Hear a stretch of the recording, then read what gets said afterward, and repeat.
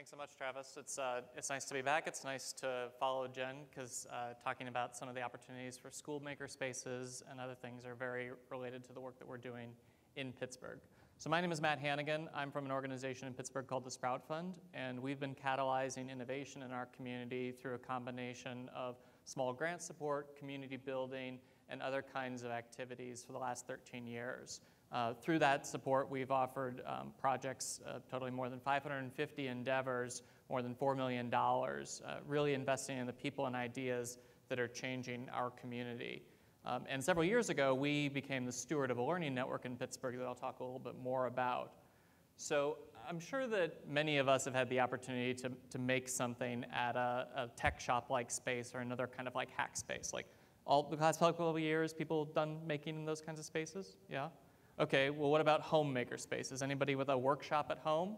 All right, got a couple of those. How many of you had maker spaces in your schools when you were growing up?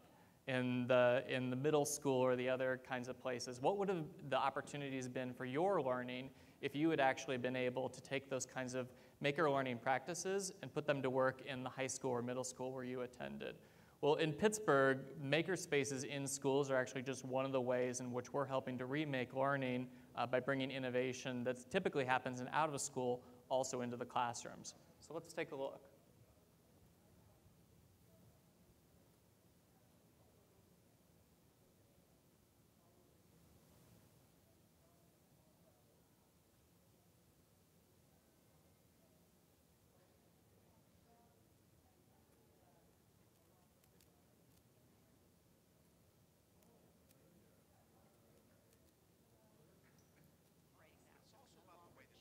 There's nice sound. It's also about the not way the teacher giving them learning in the information and having It's not the teacher back, giving giving them them now active learners Okay. having the children spit it back. They're now Uh, so maybe we'll come back to, to the video, but, but this is a, a, a example of some of the work that's happening in the Elizabeth Forward School District, which is in a rural part of the metropolitan county that surrounds the Pittsburgh area. It's actually sort of right on the edge of suburban, urban, rural, and it's not an affluent district. These aren't multi-million dollar homes creating a great tax base. Uh, this is a community that's struggled with the, all kinds of the issues that many people uh, support. And so now we're going to take a look and see what they've been up to. And the future is here, the future is now for our kids. Maya Design, Folks from Grable, Greg Barrows. talk to companies all across the country. A lot of country. schools, They they sort of looking gave to us cut that, just that little push to say, Here at okay, Elizabeth Forward, we're Go, really go to the outer reaches of, of your ideas and, and dreams.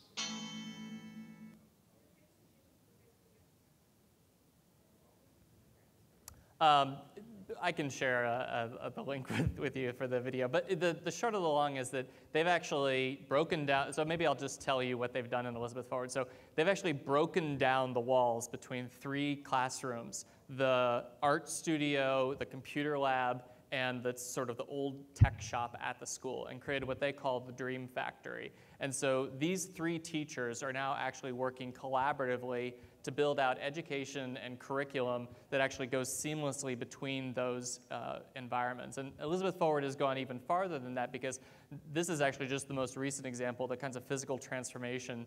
Um, when we first met the superintendent of the school district, he talked about actually wanting to take his school from frontier land to future land. And through the different efforts that they've engaged over the last several years, that's certainly part of what's happened there. They uh, created the first SMALLab, a situated media arts laboratory in the first public school in the country. Uh, they, broke, they changed their library into a YOUmedia-like production-focused space. They turned a stodgy old classroom actually into a game design laboratory, and all of these other kinds of innovations that are actually having a tremendous impact. And when you talk to the students from Elizabeth Forward, they actually they feel engaged with the school day in a way that was never possible before.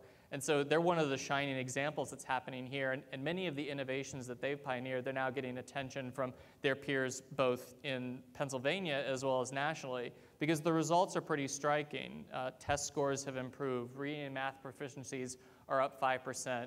Their dropouts have gone from uh, 24 in 2009 to only one during the last academic year. Uh, and they've risen among their peers in Pennsylvania more generally. So it's, it's pretty impressive, uh, the work that they've been able to do there. And in terms of what makes a transformation like this possible, we think it really takes a network and a whole community approach to that kind of learning innovation. And so in Pittsburgh, we've helped create a, a, network that helps support maker learning and other kinds of learning innovation through a combination of different activities, bringing together people from across sectors. And we have this rich DIY community. We heard this morning when Peter was talking about Pittsburgh's industrial legacy as a maker city. And we still have that very much today, but we also have some really great opportunities to put the tinkerers and artists and others sort of into these classroom environments and build them out in ways that help children combine both the physical and the digital skills uh, that really create powerful learning experiences, bridging gaps between science and engineering, technology and media, crafts and the arts, and all about discovering their passions and, and reshaping their world. So for us, this potential opportunity for maker learning to positively improve educational outcome, outcomes has been a substantial source of investment locally by our philanthropic community in terms of advancing this work going forward. And we've built a network that we call Kids in Creativity that's helped make this possible. So our network includes the active participation of four distinct sectors, and these are more than 2,000 innovators working across 200 organizations classified in these uh, four areas. So we've got formal and informal learning environments, learning research and advocacy, innovation research and development, entrepreneurial support and commercial interests, and then finally strategic stewardship to bring it together.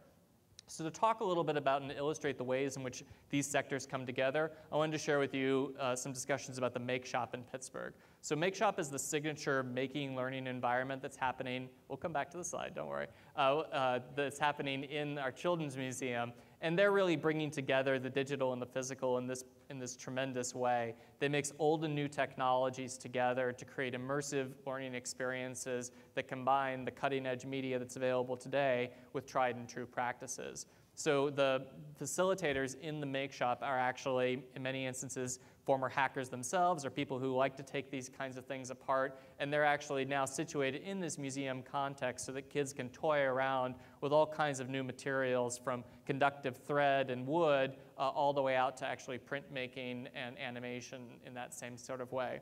So let's return to the ecosystem model that I showed earlier about the Kids and Creativity Network and talk a little about uh, how the Make Shop is a great example of these sectors coming together uh, to create this incredible learning experience. So the Children's Museum is obviously a signature informal learning environment in our community as, as well. But the innovations that they're creating through the mobile Make Shop instructional kit uh, and the work directly with classroom teachers means that that kind of learning has the opportunity to migrate into other schools that are in our community in some instances, actually just migrating across the street to the school that's directly across the way that has 98% free and reduced lunch, being able to bring maker practices into the uh, elementary education that's happening there. In terms of uh, innovation, research, and development, MakeShop wouldn't be possible without the students and professors from Carnegie Mellon University's Entertainment Technology Center working at the design phase of this initiative. So ETC is the world's actually premier graduate program for budding game designers and other interactive media uh, professionals, and they contributed deeply to the development of MakeShop and its approach. They're also the ones that were the design folks behind YOUmedia in Chicago at the outset. In terms of learning research and advocacy, MakeShop also engaged the University of Pittsburgh Center for Learning in Out of School Environments to help bring a real research based approach to the work that's happening there. And I think it demonstrates the Children's Museum's commitment to actually building a research based understanding of the ways in which maker learning has the opportunity to improve learning outcomes for children and youth. And then finally, MakeShop has actually act, acted as an incubator space itself.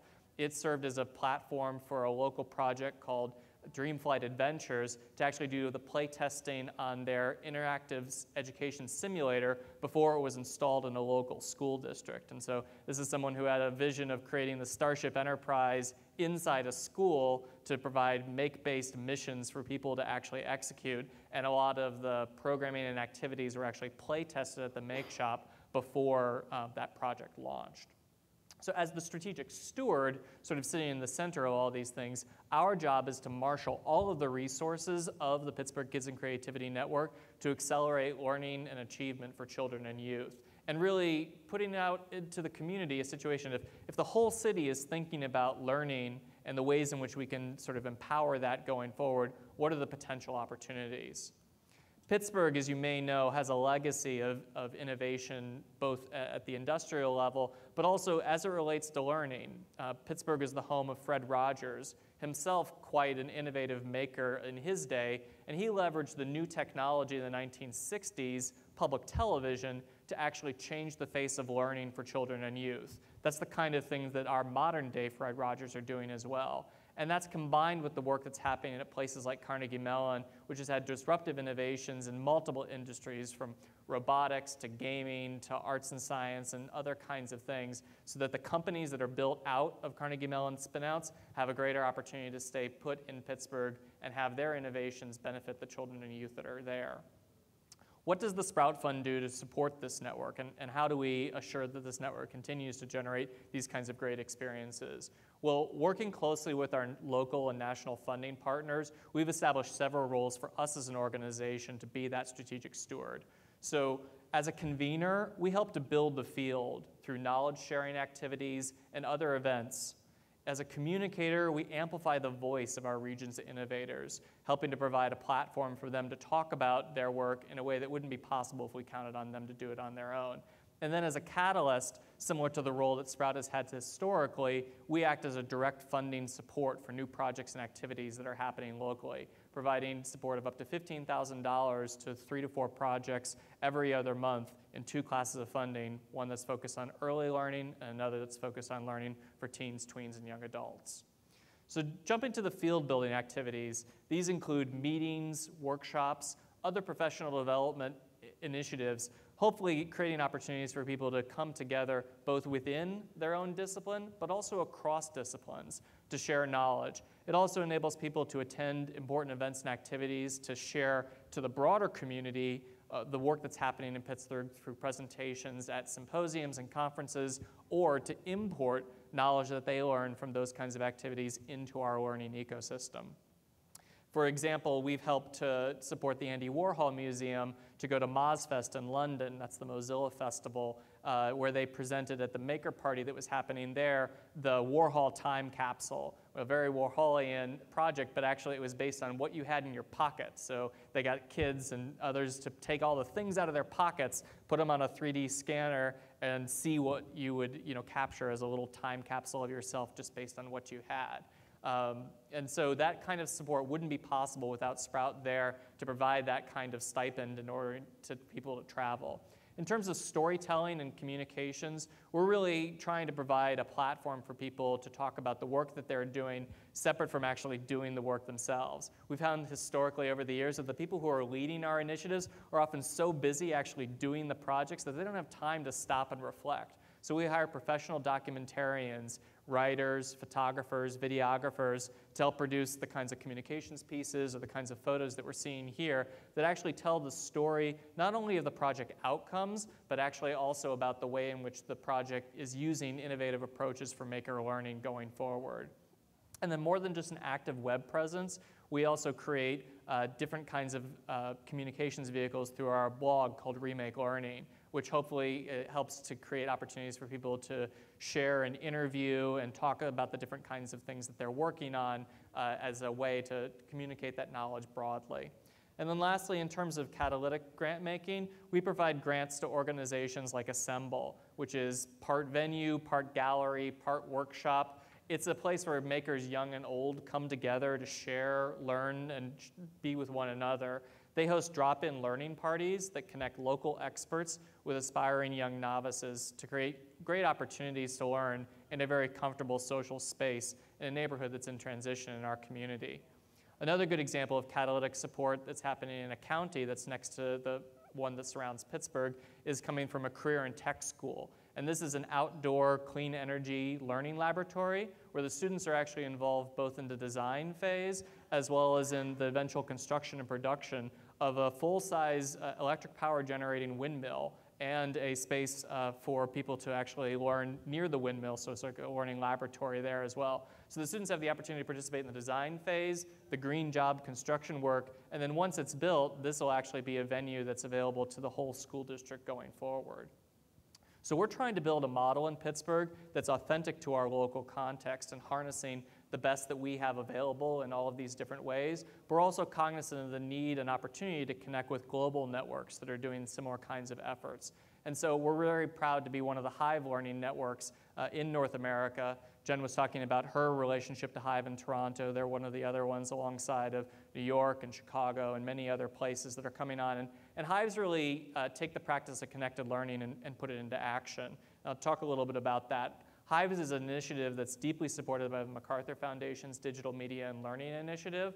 Uh, and it really helps to create a situation where what if there are no boundaries between in school, out of school, online learning? What kind of learning is enabled in that sort of way? It advances the principles of connected learning, which is a research based framework developed by folks like Mimi Ito and Nichole Pinkard that suggests that in a world where learning can happen anywhere, anytime, the most powerful learning is one that actually bridges the three spheres of influence that are most important to young people the peer culture and social networks, academic achievement, and interest based learning.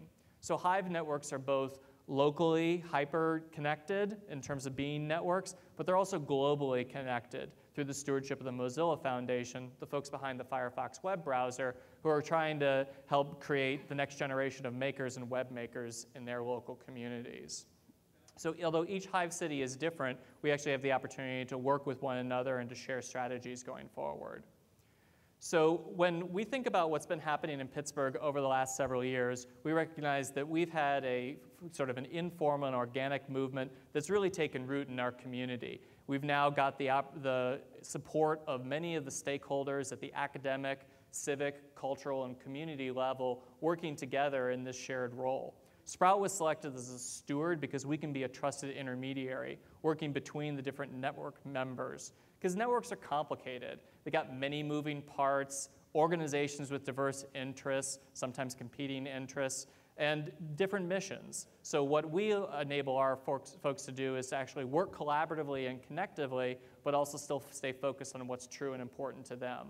So we've been able to empower both educators and uh, learners to access and achieve greater outcomes through learning that's maker focused and bringing in other kinds of innovative practices.